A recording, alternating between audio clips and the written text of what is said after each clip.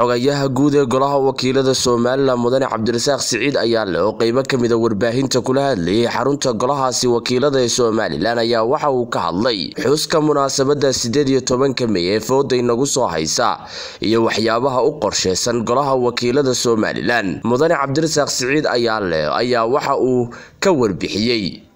Dhammaan shacbiga somalilan waxaan ugu hambalyaynaynaa sanad gooradii koob iyo soddonaad ee ka soo wareegtay goonistaagii jamhuuriyadda somalilan may burco halkan waxaa ku diyaara oo taagan shaqaalihii baarlamaanka la taliyayaashii baarlamaanka.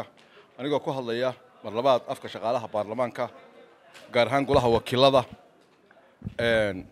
Waxaan leeyahay sanadkaa sanadkiisa ilaahay haynagu gaadhsiiyo bashbash iyo barwaaqo.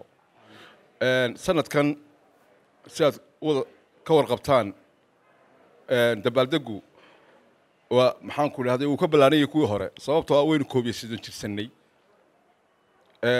Sidaasi la mid ah ayaa golaha wakiiladu annagoo directifeka iyo ama awaamirta ka qaadanayna shirgudoonka golaha wakiilada uga horreeya guddoomiyaha golaha wakiiladu waxaanu sanadkan ka qaybgelaynaa qaybgal ballaadhan may.